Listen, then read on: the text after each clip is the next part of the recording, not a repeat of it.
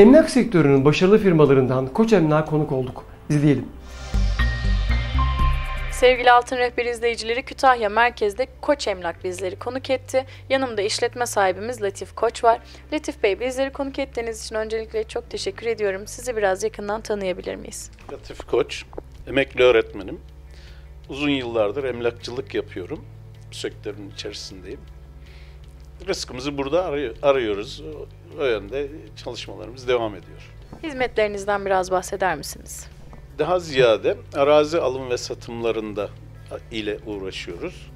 İşte arsa e, alım satımı, daire, dükkan alım satımlarında aracılık hizmetleri yapıyoruz.